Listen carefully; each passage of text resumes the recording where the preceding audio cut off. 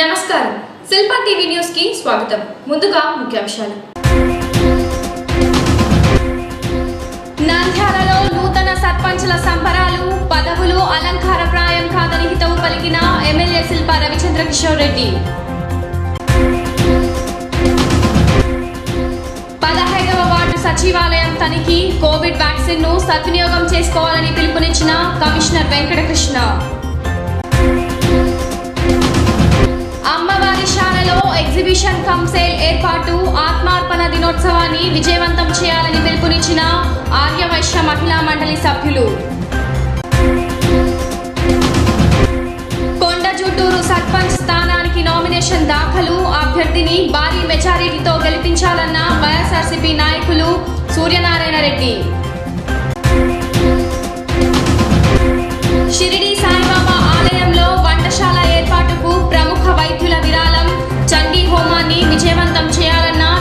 నిర్వాహకులు ఎల్లస్వామి ప్రభాకర్.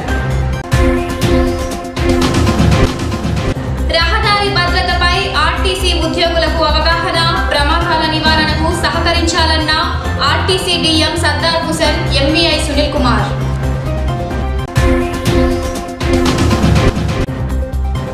రాష్ట్ర ముఖ్యమంత్రికి పాలాభిషేకం ప్రభుత్వ నిబంధనల మేరకు విధులు నిర్వహిస్తామన్న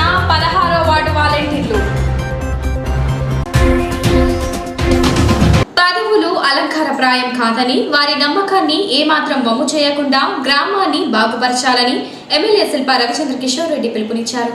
ఐదేళ్ళ కాల వ్యవధిలో సమస్యలు గుర్తించి పరిష్కరించడంతో పాటు ఊరు బాగుపడిందన్న భరోసా కల్పించాలని ఆయన హితవు పలికారు.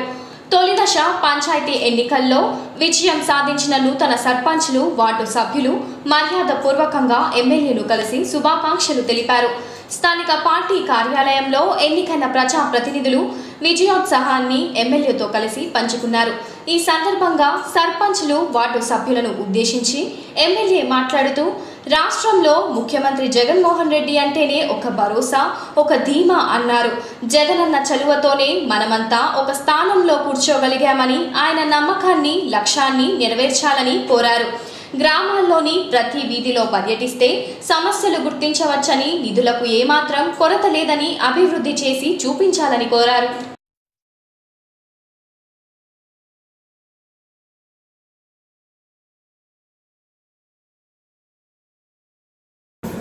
కంగ్రాచులేషన్స్ ముఖ్యంగా మన అందరం కూడా గుర్తుపెట్టుకోవాల్సింది ప్రజలు మనల్ని నమ్మి ఈ కుర్చీలో కూర్చోబెట్టినారు.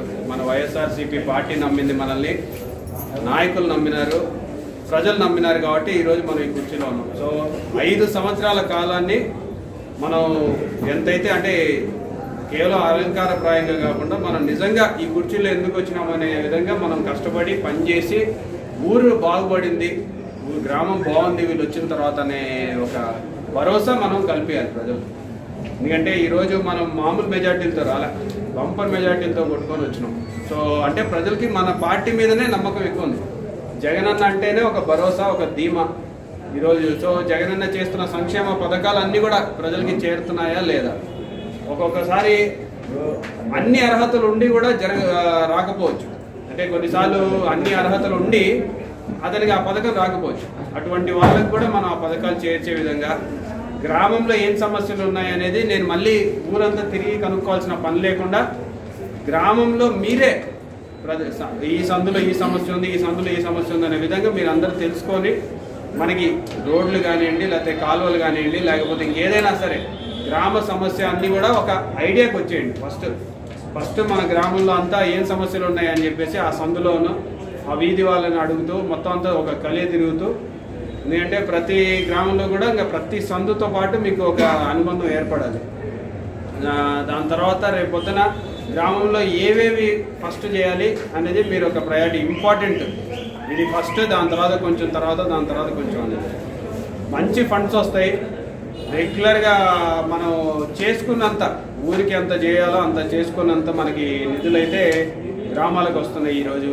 సో మనం ఇవన్నీ కూడా దృష్టిలో పెట్టుకొని ముఖ్యంగా మనం ఈరోజు అందరం నాతో సహా మన పార్టీ కండువా కప్పుకున్న ప్రతి నాయకుడు కూడా జగనన్న చదువు వల్లనే ఈరోజు ఆ కుర్చీలో కూర్చుంది సో నేను ఎమ్మెల్యే అయినా కానీ లేకపోతే మీరు సర్పంచులు అయినా కానీ మనకి పైన జగనన్న ఆయన ఎన్ని ఇబ్బందులు పడుతున్నాడా లేకపోతే ఎన్ని కష్టాలు పడుతున్నాడో మనం అందరం చూస్తున్నాను సో మనం గట్టిగా కింద స్థాయిలో మనం పనిచేస్తే పైన ఆయన అంత ఫ్రీగా ఉంటుంది సో నెక్స్ట్ టైంకి మన మెజార్టీ ఈరోజు వంద అయితే నూట యాభై అయ్యే పరిస్థితికి మనం తీసుకురావాలి మన గ్రామంలో మన పార్టీ ఈరోజు వందలో ఉందంటే నూట యాభైకి మనం పెంచే పరిస్థితి. మన మన ఐదు సంవత్సరాల టర్మ్ తర్వాత మాకుంటే సర్పంచ్ ఇట్లాంటి వాళ్ళే కావాలి మా ఊరికి ఇట్లాంటి వాళ్ళు ఉంటేనే బాగుంటుంది అని ఒక ఆలోచన. సో ఆ రకంగా మనందరం కూడా కృషి చేయాల్సిన అవసరం ఉంది. గ్రామ పంచాయతీ ఎన్నికల్లో కొత్తపల్లి గ్రామ పంచాయతీలో ఐదు వందల యాభై ఒక్క ఓటుతో మా అభ్యర్థి చాకల నారాయణ విజయం కైవసం చేసుకున్నారు. అలాగే గతంలో చేసినటువంటి అభివృద్ధి పనులు మన ముఖ్యమంత్రి ప్రీతమ ముఖ్యమంత్రి జగన్మోహన్ రెడ్డి గారు చేసినటువంటి సంక్షేమ పథకాలన్నీ కూడా పనిచేశాయని చెప్పేసి మేము తెలియజేసుకుంటున్నాము. మా నారాయణ విజయం సాధించినాడు కాబట్టి మేము ఒక ప్లాన్ ఆఫ్ యాక్షన్ తయారు చేసుకొని గ్రామాన్ని ఏ విధంగా డెవలప్ చేయాలనే ఉద్దేశంతో కమిటీని ఫామ్ చేసి సర్పంచి ఉప సర్పంచి వార్డు మెంబర్లు గ్రామ పెద్దలు అందరం కలిసి కూడా ఒక కమిటీ మాత్రం వేసుకొని గ్రామాభివృద్ధికి తోడ్పడతామని చెప్పేసి మేము సభకు తెలియజేస్తున్నాము. గ్రామాన్ని అభివృద్ధి చేస్తాం. కొత్తపల్లి ప్రజలకల్లా పాదాది వందనాము ఎమ్మెల్యే సార్ గారు మా తొలిసిడి సార్ గారు అందరి తరఫున మేము ఏమేమి వాగ్దానాలు ఇచ్చామో అన్నీ చేస్తాము చేస్తాము.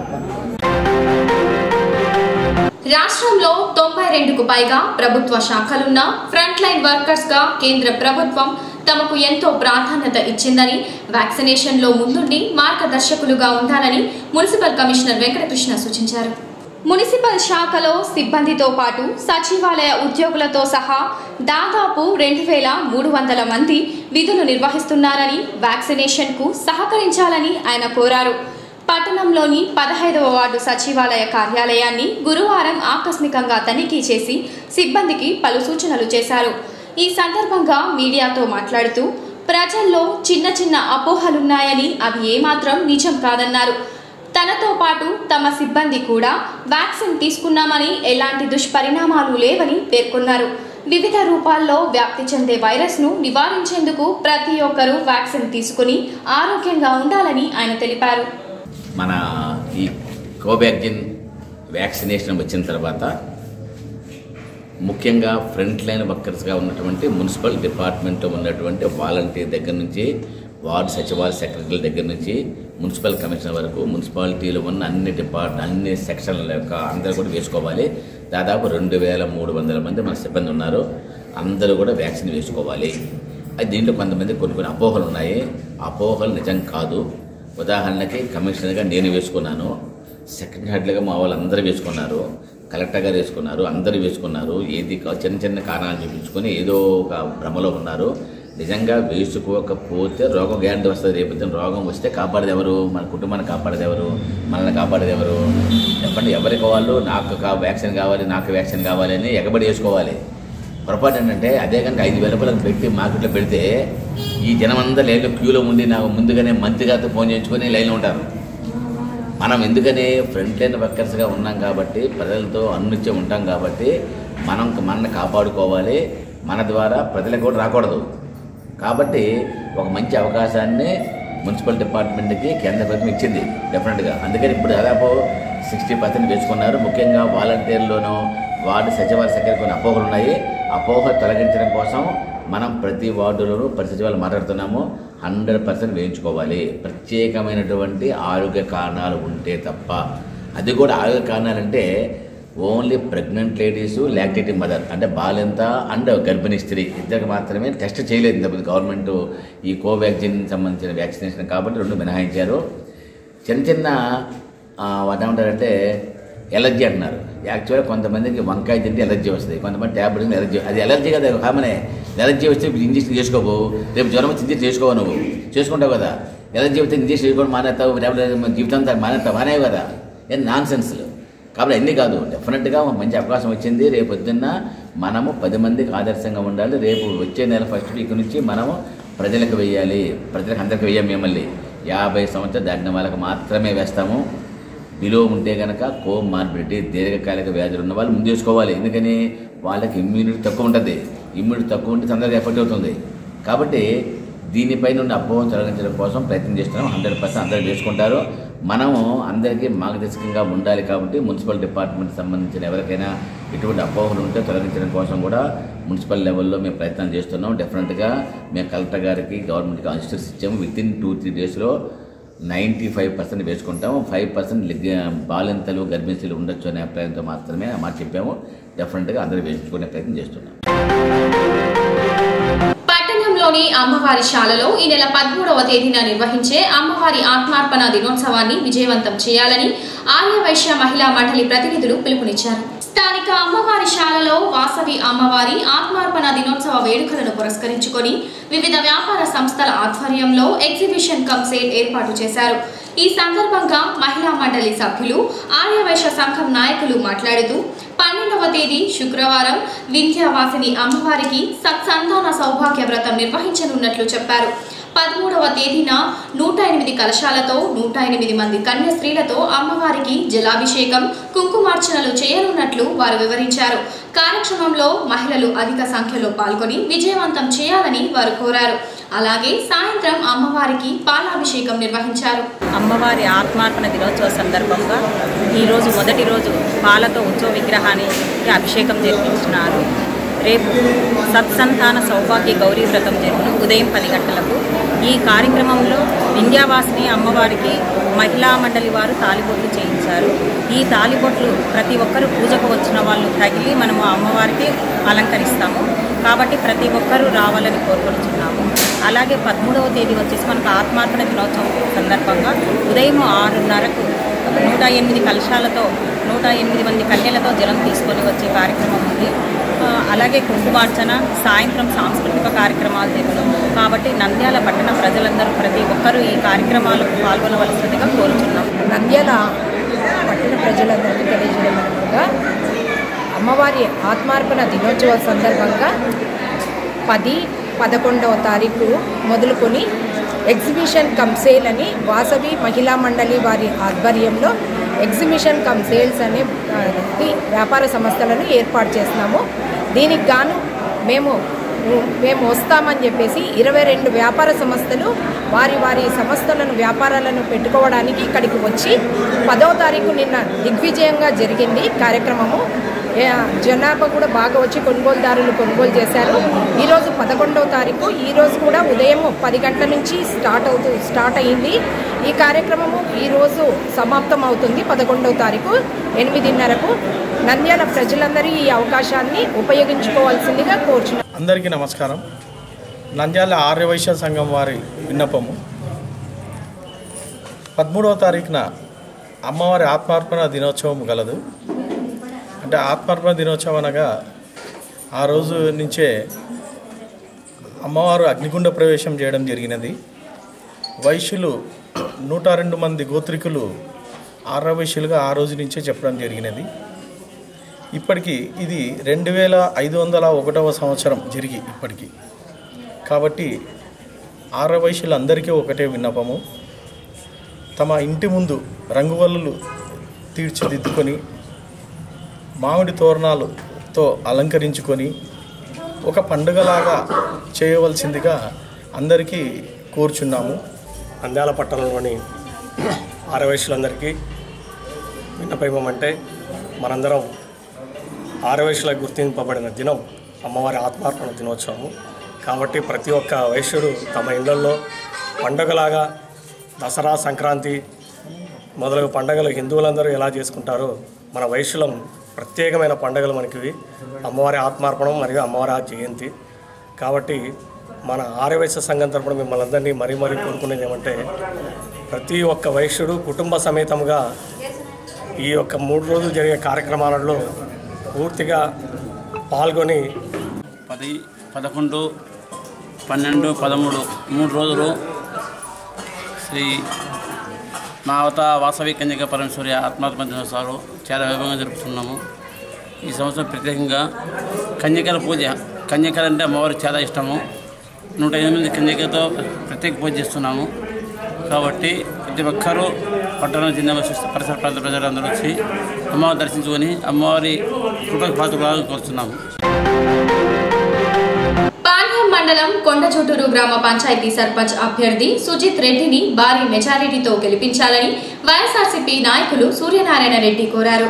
గ్రామాన్ని ఆదర్శవంతంగా తీర్చిదిద్దాలన్న సంకల్పంతో గ్రామస్తులు యువకుడిగా తన కుమారుడికి అవకాశం కల్పించారని గ్రామస్తుల నమ్మకాన్ని మమ్ము చేయమని ఆయన తెలిపారు. కొండచూటూరు పంచాయతీ సర్పంచ్ అభ్యర్థిగా వైఎస్ఆర్సీపీ నాయకులు సూర్యనారాయణ రెడ్డి కుమారుడు సజ్జల సుజిత్ రెడ్డి నామినేషన్ దాఖలు చేశారు. ఈ సందర్భంగా సూర్యనారాయణ రెడ్డి ఆయన కుటుంబీకులు మాట్లాడుతూ రాష్ట్రాభివృద్ధి కోరుతూ యువతకు అవకాశం కల్పించడం సంతోషకరమన్నారు. గ్రామాన్ని తీర్చిదిద్దాలన్న తపన ఉందని గ్రామస్తులు అభ్యర్థిని అత్యధిక మెజారిటీతో గెలిపించాలని వారు కోరారు. నా కొడుకును సుజిత్ రెడ్డి నీ కొండచుట్టూరు గ్రామ సర్పంచ్గా పోటీ చేపించడం జరిగింది. ఆ పోటీ చేపించడం కూడా యువత అందరూ మేము యువకుడిని ఎన్నుకుంటాం ఖచ్చితంగా మంచి మెజార్టీతో గెలిపిస్తామని చెప్పడం జరిగింది. దాంట్లో ఉద్దేశంగా ఈరోజు కొండజూటూరు గ్రామాన్ని అందంగా తీర్చిదిద్దాలనే డ్రీమ్ ఉండే వ్యక్తులం మేము. జూటూరు గ్రామాన్ని అందంగా తీర్చిదిద్దాలనే తపన కోరిక ఉన్న వ్యక్తిని నేను. ఎందుకంటే ఈ కొండజూటూరు గ్రామం నుంచి ఇంతకుముందు మా నాయనను ఒకసారి సర్పంచ్ గెలిపించినారు.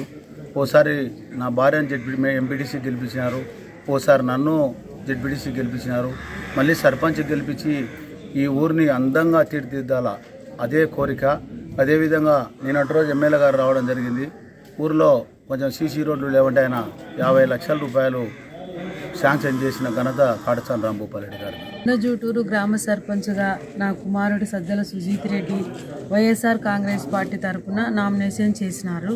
యువతకు ఇప్పుడు అవకాశం వచ్చింది కాబట్టి యువతలందరూ ఈ ఊరు గ్రామాన్ని బాగుపరుచుకుందామనే ఉద్దేశంతో యువతలందరూ కలిసి నా కుమార్ని ఎన్నుకున్నారు. కాబట్టి రాష్ట్ర ముఖ్యమంత్రి జగన్మోహన్ రెడ్డి ప్రవేశపెట్టిన పథకాలన్నీ నవరత్నాలు కానీ ఇంకా కానీ అన్నీ మనం ఉపయోగించుకుందామనే ఉద్దేశంతో మేము ఇప్పుడు పోటీ చేయుచున్నాము. ఇంటింటి స్పందన చాలా బాగుంది. వాళ్ళకు బిల్డింగ్స్ కావాలనేది అడుగుతున్నారు. బిల్డింగ్స్ కావాలని. రోడ్స్ అడుగుతున్నారు. రోడ్స్ ఇంకా యువతకు మంచిగా సపోర్ట్గా ఉంటాను అని. నాన్నగారి టైంలో అంతే రాజశేఖర రెడ్డి టైంలో అంతంగా రోడ్స్ అవన్నీ జరిగినాయి కానీ టీడీపీ ప్రభుత్వంలో ఏం రోడ్స్ అనేటివి ఏం జరగలేదు రోడ్స్ కానీ. అంతా వెనుకబడిపోతుంది బిల్డింగ్స్ లేవు ఏం లేవు. అంత బీద వాళ్ళు కొంతమంది పింఛన్లు లేరు. చాలా ఇబ్బందులు పడుతున్నారు జనాలు. ఆ ఇబ్బందులు ఏం లేకుండా నేను చూసుకుంటానని యువతకు అండగా ఉంటాను అందరికీ. ఇక్కడికి వచ్చి అందరికీ పెద్దలకు అందరికీ నేను అండగా ఉంటాను ముందుండి నడిపిస్తానని. అందరు మంచం గుర్తు కోటేసి వేయించి మెజారిటీతో గెలిపించే ప్రార్థన కొండజూటూరు గ్రామ సర్పంచ్గా నా భర్త సద్దర సుజిత్ రెడ్డి పోటీ చేస్తున్నాడు. కావున మీ అందరినీ నేను చేతులెత్తి వేడుకుంటున్నాను. మేమందరం మీ కష్టసుఖాలలో పాల్గొంటాము. మీకు ఎప్పుడు మేము తోడుంటాం. మా ముఖ్య ఉద్దేశం ఒకటే మన ఊరు బాగుంటే మనం బాగుంటాం. దీనికోసమే మేము నలుగురం మేము మేము దానికోసమే పనిచేస్తున్నాం. కాబట్టి మీరందరూ మంచం గుర్తుకు ఓటేసి సుజిత్ని గెలిపించాలని ప్రార్థన పట్టణ సమీపంలోని జంబుల పరమేశ్వరి దేవి తిరునాల సందర్భంగా షిరిడి సాయిబాబా ఆలయంలో నిర్వహించే చండీ హోమాన్ని విజయవంతం చేయాలని నిర్వాహకులు ఎల్లస్వామి ప్రభాకర్ తెలిపారు. సాయిబాబా ఆలయంలో వంటశాల ఏర్పాటుకు పట్టణానికి చెందిన ప్రముఖ వైద్యులు డాక్టర్ కార్తికి డాక్టర్ నరసింహులు లక్ష ఇరవై ఐదు వేల చొప్పున విరాళం అందజేశారు. ఈ సందర్భంగా వారు మాట్లాడుతూ ఆలయ అభివృద్ధికి దాతలు భక్తులు అనేక విధాలుగా సహకరిస్తున్నట్లు చెప్పారు.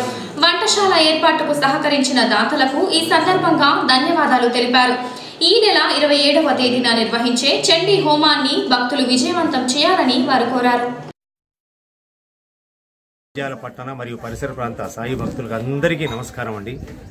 జంబులా పరమేశ్వరి ఆలయం ఎదురుగా ఉన్న షిరిడి సాయిబాబా ఆలయం నిర్మించి రెండవ సంవత్సరం దాటి మూడవ సంవత్సరంలో అడిగిన శుభ సందర్భంగా ఈ ఆలయంలో భక్తులు కడు వేడుకగా అన్ని విధాలుగా సహాయ సహకారాలు అందిస్తున్నారు. కాబట్టే బాబావారు దినదిన అభివృద్ధి చెందుతూ భక్తుల కోరికలను అడిగిన వెంటనే నెరవేరుస్తున్న వరాలిచ్చే బాబాగా భక్తులందరి నోట వస్తున్నది కాబట్టి భక్తులారా ఆనందంగా మీకు వీలు ఉన్నప్పుడు తప్పకుండా రండి ఈ ఆలయాన్ని దర్శించండి. బాబా వారిని మీ మనసులో కోరికలు అడగండి.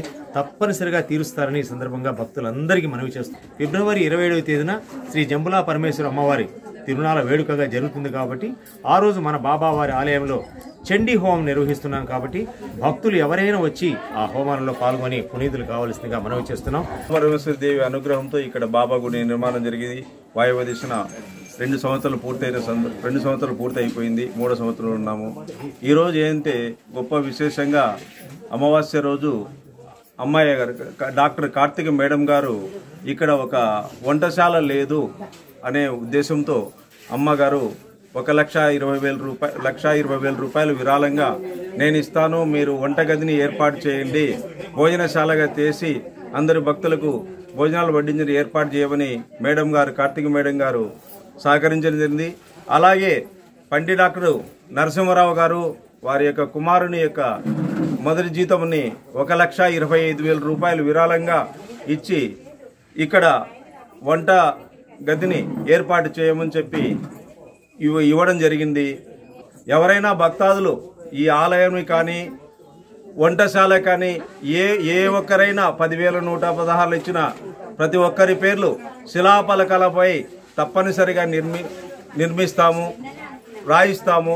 కాబట్టి దయచేసి ఇక్కడ ఏవి అయితే లోటుగా ఉన్నాయో అన్ని తీర్చడానికి భక్తాదులు వారి యొక్క వారే స్వయాన వచ్చి సహకరిస్తారని ఆ సాయినాథుని మనసారా ప్రార్థిస్తున్నాము. ఈరోజు నాకు బాబా గుడికి ఇంతకుముందు అందరూ చెప్తుంటే ఎప్పుడు రాలేదు కానీ ఇది మొదటిసారి మొన్ననే వచ్చాను. ఇక్కడ వాతావరణము గుడి అంతా చాలా బాగా అభివృద్ధి అయ్యి అంతా చాలా బాగా కట్టారు. ఇక్కడ రాగానే ప్రశాంతత అంతా బాగుంది చాలా సంతోషం అనిపించింది. నాకు వెంటనే నాకు తోచింది ఏదో నాకు బాబా ఆశీస్సులతోటి చేయాలనుకున్నాను. కొంచెం చిన్న కార్యక్రమం ఏదో ఇవ్వాలనుకున్నాను. ముందుకు వచ్చి అంతే.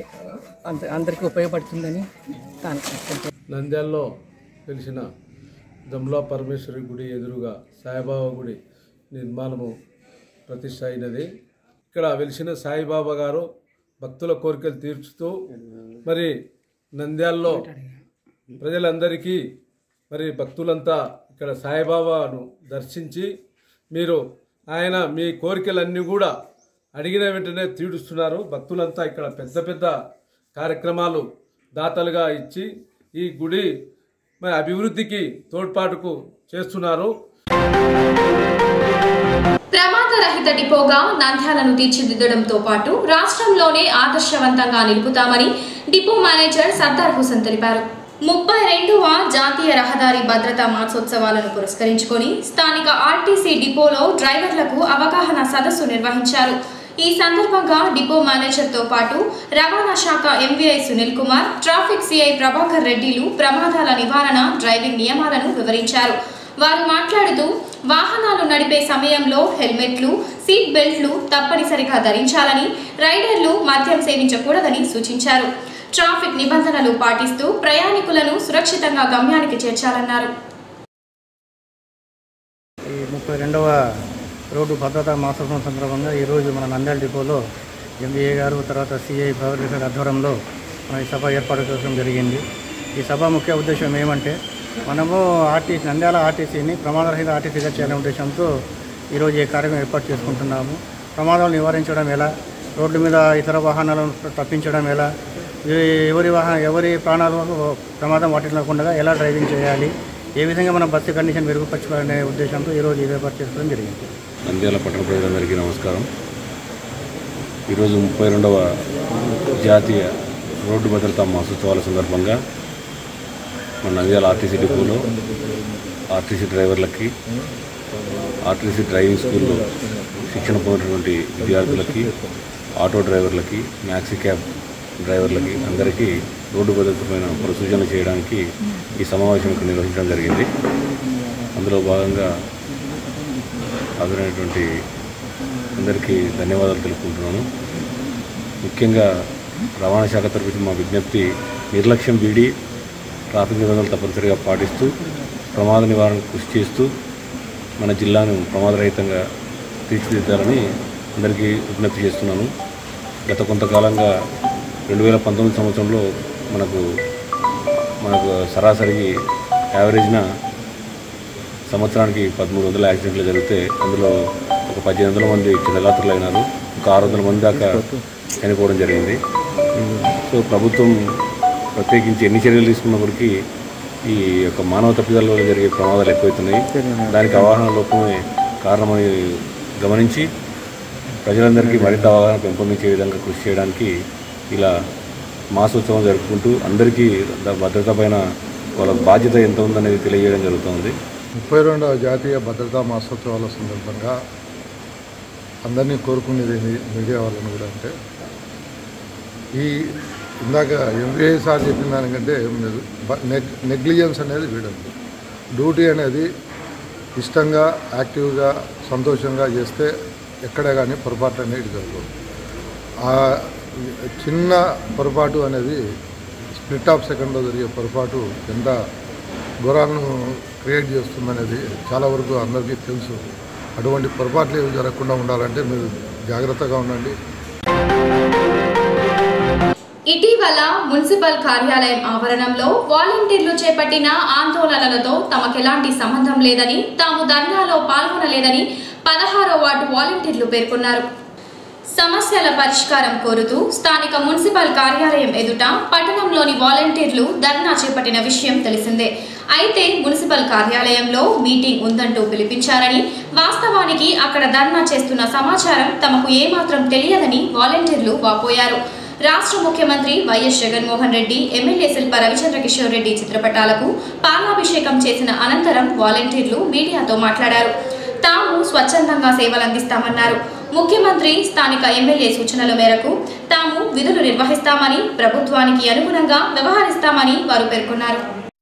మున్సిపల్ ఆఫీస్లో మేము వెళ్ళేది ధర్నాన్ని తెలియదు మాకు. మేము మీటింగ్ అని వెళ్ళాము. జగన్ గారు అలాగే రవికిషోర్ గారు ఎలా చెప్తే మేము అలా విధంగానే జాబ్ చేసుకుంటాము. స్వచ్ఛంద సర్వీస్ మేము చేస్తాము. మా అంతకు మేమే చేస్తున్నాం. మొన్న జరిగిన మున్సిపల్ ఆఫీస్లో స్ట్రైక్ అయితే మాకు ఎటువంటి సంబంధం లేదు. మామూలుగా మాకు ఫార్టీ టూ వార్డ్స్ కలిపి ఒక వాట్సాప్ గ్రూప్ ఉంది. ఆ గ్రూప్లో మామూలుగా మెసేజ్ ఫార్వర్డ్ చేసినారు. ఇట్లా మీటింగ్ ఉంది రండి అని చెప్పి. మేము మామూలుగానే పోయినాం. కానీ అక్కడ ధర్నా జరుగుతుందని చెప్పి మేము వచ్చేసినాము. కానీ అది పెద్ద టాపిక్ అయ్యింది.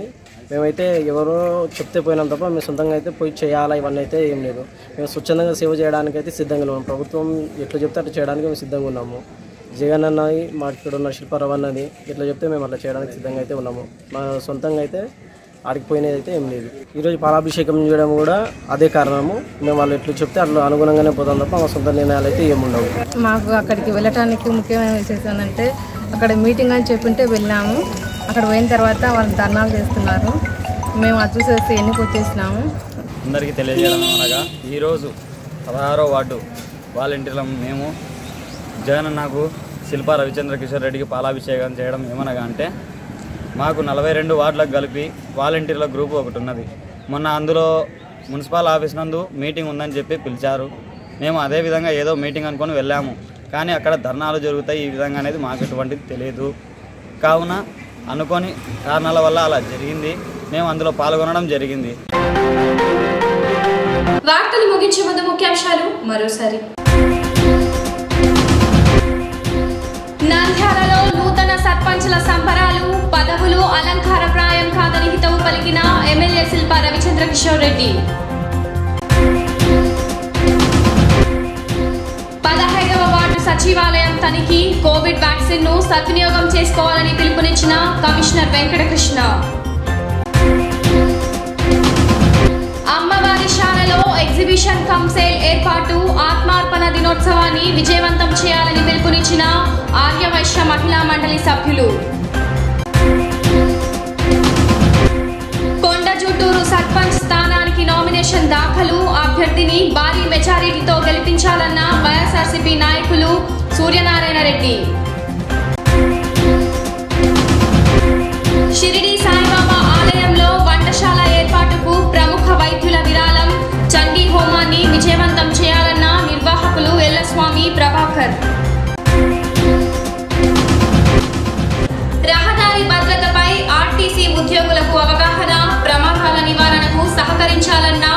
RTC DM Sardar Hussain MVI Sunil Kumar